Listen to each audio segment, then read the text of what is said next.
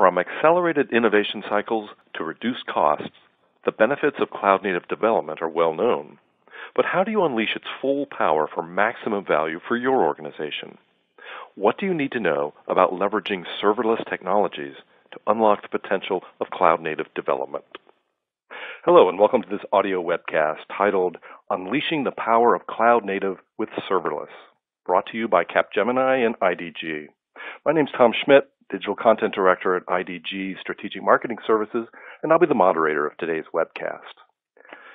Joining me is Ravi Ganta, Delivery Architect Director at Capgemini. Ravi is an expert in AWS, cloud migrations, cloud modernization, digital transformation, and large-scale cloud applications. Hello, Ravi.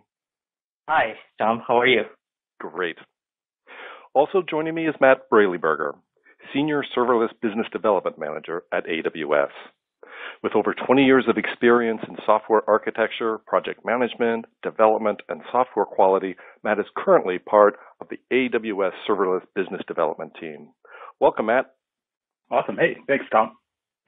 Ravi, you and Matt plan to cover quite a bit of ground with respect to cloud native and serverless. Let's begin by setting the agenda for our audience. Thank you so much, Tom.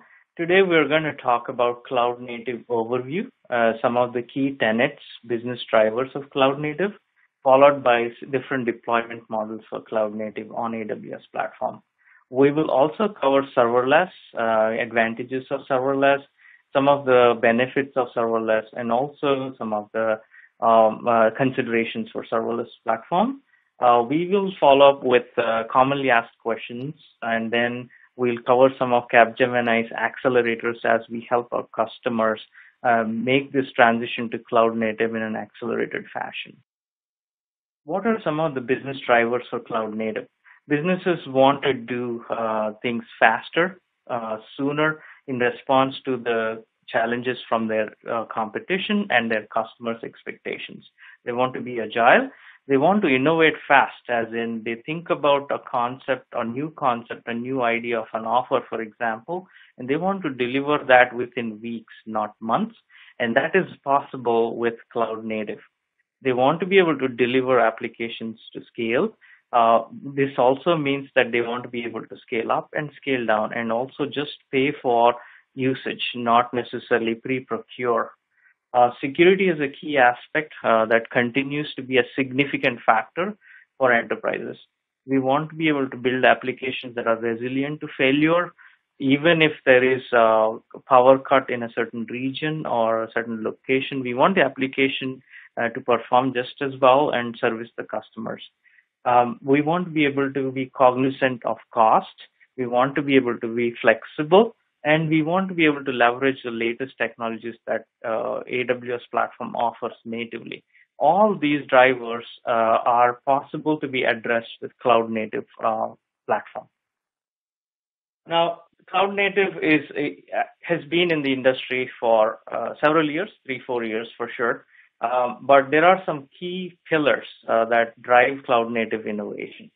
Uh, one of them is DevSecOps or DevOps, where code-centric approach to software engineering and infrastructure becomes a key aspect.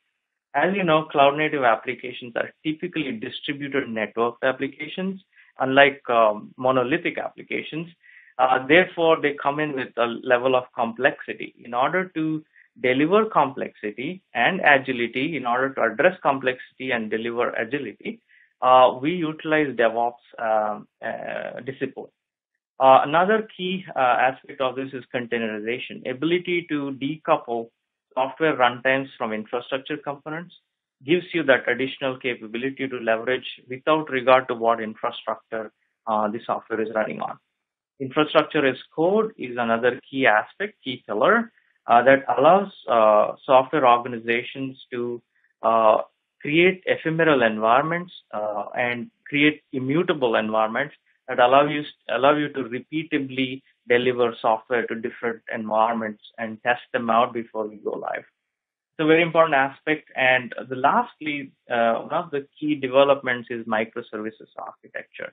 It's a pattern in which uh, large monolithic applications can be uh, broken up into small domain-centric services, And these domain-centric services can then be deployed independently uh, from each other.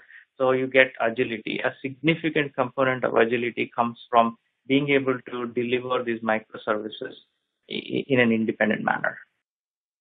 So how do how, how does AWS platform allow uh, microservices to be deployed? There are multiple ways in this this can be done, and this platform has evolved over years. So we start with serverless, which is the core topic of our uh, conversation today.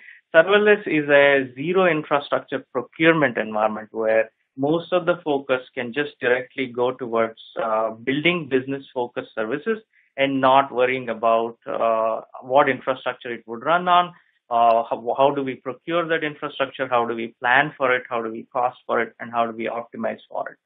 AWS pretty much does all the heavy lifting for us, and the businesses can uh, leverage uh, their time, make best use of their time just by developing code that makes sense for their business and not worry about the heavy duty infrastructure aspect. Another aspect, another way to deploy microservices is uh, ECS. ECS is a platform that's AWS native. It's a container orchestration framework that allows for Dockerized containers or any other containerized applications to be run uh, in a very flexible manner. It allows for orchestration and it has slightly uh, slightly increased overheads as compared to serverless, but it is fully uh, managed by AWS. Uh, another flavor of microservices that we often see customers go through, and those who have adopted microservices very early on, is uh, running them on uh, Kubernetes. Kubernetes is a container orchestration engine. Uh, it's an open source uh, platform that's very uh, very popular, and the the upside of Kubernetes is that you get utmost flexibility and control over the platform uh, but it also comes with complexity. So organizations that are very mature uh, in handling microservices, have the DevOps uh, culture embedded in their uh, organizations, are able to handle uh, Kubernetes on native EC2s. Uh, there is a flavor of this that is a managed control plane version of it, where AWS provides EKS, which is a Kubernetes service control plane as a managed platform. That is another variation of it, where uh, where uh, companies do not have to worry about the control plane where it's AWS managed. Typically, uh, we what we see our customers go through is a combination of serverless and uh, containerized microservices deployment. We'll get into the details of where which approach makes sense, but uh, generally we are noticing in the industry that hybrid approach is very common where it's leaning more and more towards serverless as organizations understand how to uh, do microservices. I'm going to pass it over uh, to Matt, who is going to cover the advantages of serverless. Awesome. Thanks, Ravi. So serverless is definitely one of those things uh, that's helping our customers get stuff out much more quickly uh, than traditional architectures. But I think quite right to what Ravi was saying that we're seeing a lot of folks looking at this hybrid approach um, for using serverless to extend some capabilities that may exist inside containers. And regardless of how you're building out your architecture, I think when you look at the advantages of serverless, the number one thing that we hear from customers is just greater agility in general. Um, I can focus on the stuff that's most important to my business, the stuff that really differentiates me, um, as opposed to having to do a whole bunch of other things, stuff, we'll say, to actually provision the environment to actually run code, which ultimately represents uh, some form of our business and the business logic. Uh, we're definitely seeing lower total cost of ownership as a whole, again, because we're able to focus on the stuff that's very unique to our business as a whole. And while there are, of course, no servers that you would necessarily have to worry about as an end user and end consumer, of course, there are servers behind the scenes. It's just what you're doing is having AWS manage a lot of those efforts. You know, having to worry about runtimes or flexible scaling, and of course, you're paying for value. And that's one of the interesting things about serverless rather than having something like an application server in, as a part of your architecture waiting to respond to some sort of a thing, but being on and, and you having to pay for it during that whole process, serverless only runs when something needs to be run. So an event driven architecture, I'll talk about that in just a moment here. But more importantly, when something isn't required to be run, you're not having to have that running in the background and thus you're not paying for it.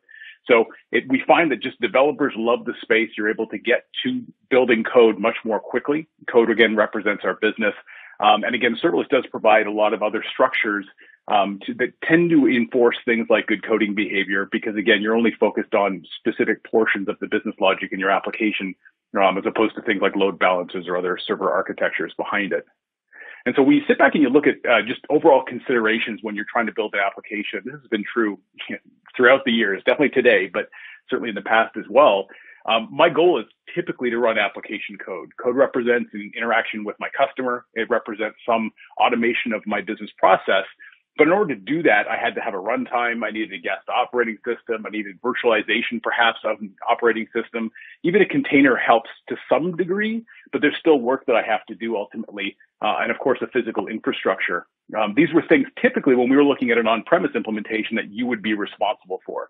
So if you look at the early days before cloud really became pervasive, companies would maybe run their own data centers and you had concerns around pool, uh, cooling, power, and overall facilities. You had to manage physical security, virtualization if you were leveraging virtual resources and so forth. So there's a lot of stuff that was required and is required to get to the state where you're actually able to build software. And this is really where serverless comes in, is we begin to remove a lot of these other um, concerns. And they still exist, but they're now the concerns of AWS. They're things that don't really differentiate your business because other folks, other customers in similar spaces are going to have these similar considerations. Um, and so I remember back in the days when I was doing a lot of uh, work at a telecommunications company, I would have to spend quite a bit of time sort of begging, borrowing, and, and trying to at least uh, negotiate to get access to resources to prove out an idea. And often that could take quite a bit of time. So the cost and the effort required to even prove an idea, do some level of innovation was, was quite high.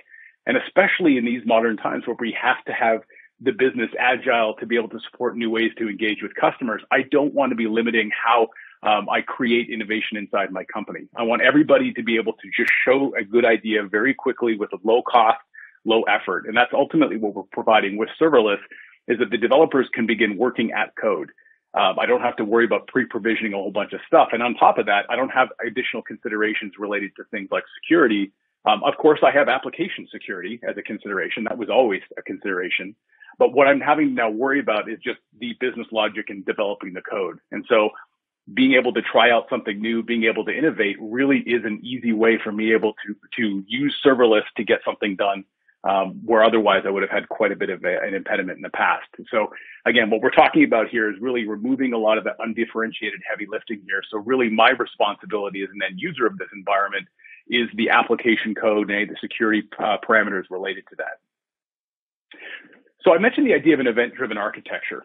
Um, so code is a piece of my application. In a lot of cases, uh, what we tend to find is that applications that customers build in a microservices or even a serverless microservice architecture leverage things like Lambda or Fargate for compute, but need other things like data stores and of course event integration to round out my offering. Think of it like a bunch of Lego blocks being assembled together to build a pirate ship.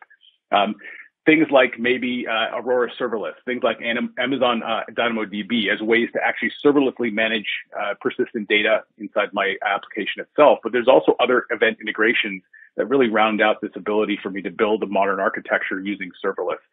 These are also what we would call uh, fully managed services. And what that means is that all of the services you're seeing here, and there are more that we're developing, including integrations with other third parties, these scale up and down automatically. So I don't have to worry about leaving these things hanging around in the background where I'm maybe having to go get billed for something where it's really not adding a whole lot of value.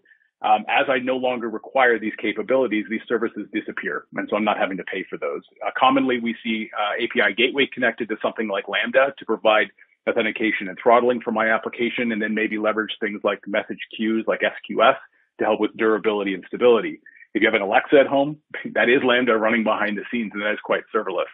So what we're seeing again, this, this idea of serverless is really an architectural decision that really supports microservices development and where possible, what we're finding customers getting benefit from is leveraging these fully managed services so that they can focus on the stuff that is unique to their own business. I'll pass things back over here to Ravi. Thank you so much, Matt. So well said. Um, we see serverless to be um, picking up uh, in the uh, enterprise world. Uh, we see that uh, there is a lot of traction in, in critical business critical applications with serverless having said that, there are some important considerations that uh, organizations should think about. Serverless is not a solution for all scenarios.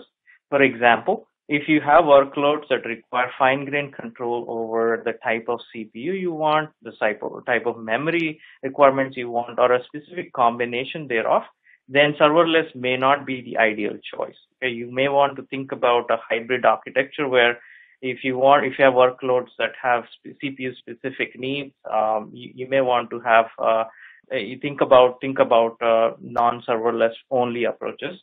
Uh, there is another thing about cold start with, uh, with lambdas or serverless generally is that uh, there is a upfront cost, a few seconds uh, cost to starting and kickstarting the functions on the server. So this latency is something that you need to consider if you're building high, uh, very low latency applications, 10 sub 10 millisecond response time requirements.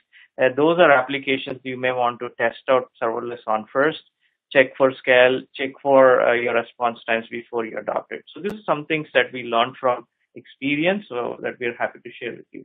Another thing uh, that uh, most organizations that are uh, that are not mature enough run into is uh, adopt serverless because it offers all these great advantages, but realize later on that they're they're working on some uh, anti patterns like um, lambda chaining, for example, not thinking carefully about IP address allocations, not thinking carefully about lambdas calling other lambdas or other third party um, services. So you have to be uh, having the right knowledge base and uh, uh, architectural experience in adopting serverless patterns. So just a quick call out to make sure that uh, the training part, the education part is in place before you onboard serverless.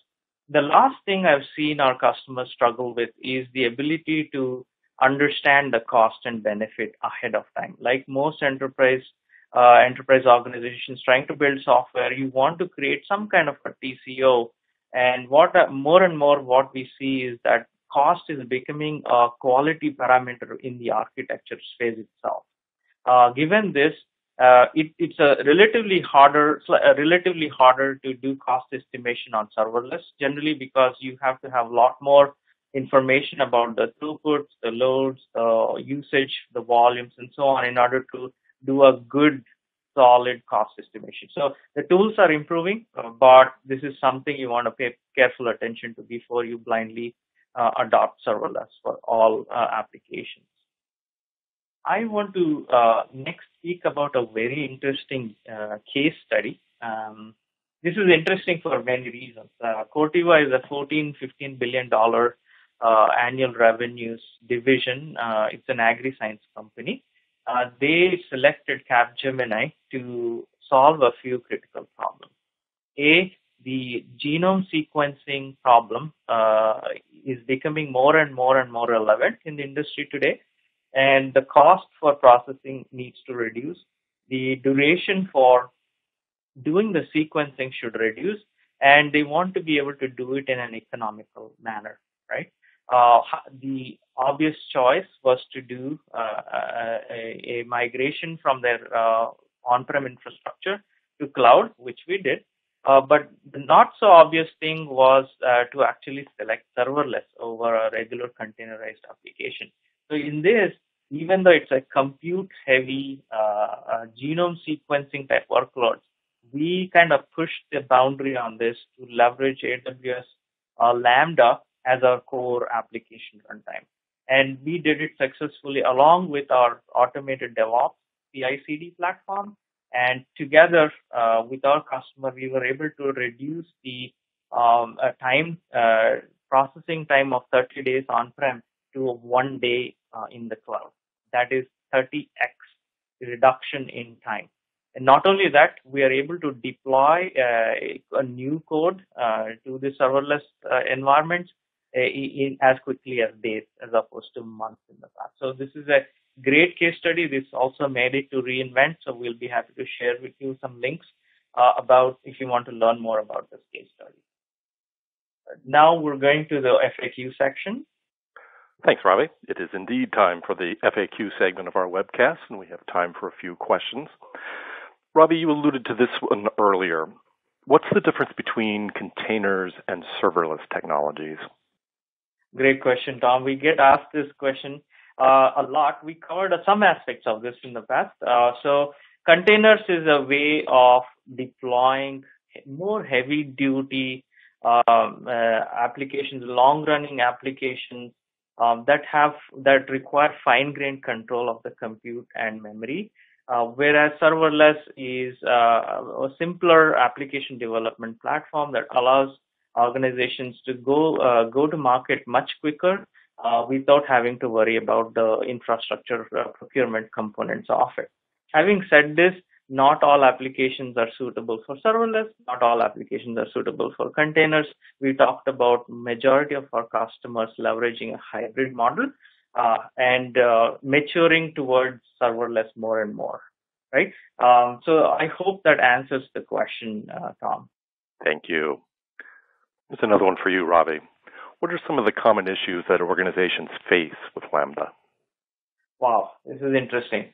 So we, we spoke about Lambda not being a solution for all, but Lambda is really uh, good for organizations that are making a cloud first application development. For example, greenfield applications. We see a lot of adoption of serverless for greenfield applications. Where there are uh, brownfield applications, legacy applications, moving legacy applications directly to serverless is a little bit of a lift for most organizations. So I would exercise caution in doing that direct transformation from a direct legacy application directly to uh, serverless. Another aspect of Lambda that I would uh, certainly think about is the cost element. We want to be able to build efficient cost models and which we help our customers with and if you if you underestimate the cost of utilizing Lambda for some of those high throughput applications, you will be in for a surprise. So you want to be able to keep that in mind as you adopt Lambda. Those are a couple of callouts I can think about. Got it. Matt, let me follow up with you on that point. What are the what are the differences with managing serverless for greenfield and migrated apps? Yeah, that's a great question. So I think uh, serverless in general tends to lend itself really well for anything that's greenfield because there's no none of the technical debt that typically uh, causes a, a, little bit of challenge or, or some pause for organizations. I think when we look at migrated applications, still a good fit in some instances for serverless. What we find that tends to drive a lot of those decisions is really the business more than anything else, not that, not the technology, but the business. And so we look at the existing application and we begin to peel off the parts that are really impeding the business first and foremost. It's sometimes called incremental refactoring. Um, and so we do have customers in both both sort of segments, but I think more importantly, when you're looking at an existing application, there's always risk in redeveloping something. And so it's it's really making sure that you've got an alignment around the business cases um, and that what you're doing really targets the business versus, of course, greenfield being a whole lot easier, I think, because you don't have a lot of that technical debt. Got it. Another one for you, Matt, and this is a this is a big one. What are some of the latest cloud native trends? Yeah, definitely. Uh, that's uh, there's a lot of stuff going on, I think, right now. Um, event-driven architectures. I sort of gave a little bit of a talk about that earlier. Here um, is one of the things that we're seeing um, becoming a lot more pervasive. Uh, microservices in general. I, I wouldn't say they're the latest trends, but microservices working with event-driven architectures are really a good way for organizations to get that speed and that time to market but also at the same time making sure that you're only paying for the resources that are being consumed. I think in general, obviously, uh, AI, ML, and anything that we can do related to that within the cloud is also a part of that. I think serverless has uh, definitely an architectural consideration in that as well. Thanks, Matt. Great point. Ravi, you mentioned earlier some cloud native accelerators that Capgemini has developed for your customers. Could you elaborate on them? Absolutely, Tom. Uh, today I have uh, I want to talk about three different accelerators that we have. Uh, starting with uh, Capgemini's Pod as a Service model. This is a Capgemini uh, developed approach to quickly onboarding our customers to uh, benefiting from DevOps uh, culture. DevOps is a culture change, not just a software methodology. You, if you build it, you own it is the key paradigm of this. So what is the pod? What does a pod consist of? Pod consists of a, a set of uh, engineers and managers who are dedicated to uh, the idea of building a product. So it's a product centric model where we have a product owner or a product manager uh, who occupy the central roles and who drive the key um, priorities of the organization.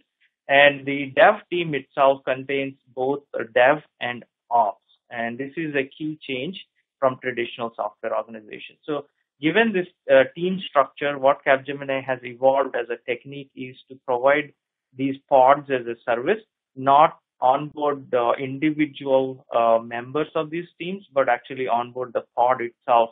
And it's a significant accelerator. A, because some of these teams already have worked in this agile fashion before, and they're able to de- develop and deliver software much faster. It's a key uh, advantage that we offer to our customers. And the second accelerator I wanted to talk to you guys about is is our DevOps DevSecOps acceleration platform. Generally, uh, if you look at CNCF or any foundation that looks into cloud native application, there's a huge proliferation of tools. There's thousands of companies and each of them building couple of tools at least to address this cloud native space.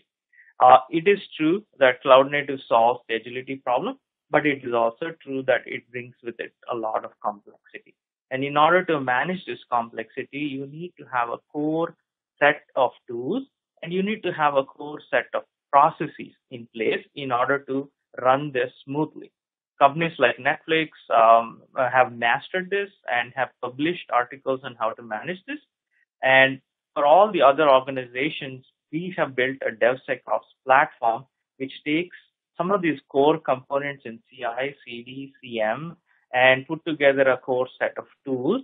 And we automate this process so that our customers don't have to go through this learning uh, by spending time and cycle. This is a significant accelerator. Uh, you just from get go, you will be at level three maturity in terms of your Dev, DevSecOps platform. And having said this, this is amenable to all kinds of uh, applications be it traditional, uh, be it uh, cloud native on containers, or be it pure serverless. This is agnostic to a specific platform or approach. Uh, the last uh, cloud accelerator that we have as Capgemini is called a digital cloud platform. It's actually uh, years of experience spending Uh, time developing software for various of our customers in different segments we have created a set of blueprints, right? If you want to do an e-commerce platform, for example, you don't have to start from scratch. We've built all the core modules and created them almost as deployable APIs. And all you as our customer need to focus on is either extending those services or building your own additional services that are actually key value add for you. Just like how serverless takes away uh, infrastructure related heavy lifting away from you.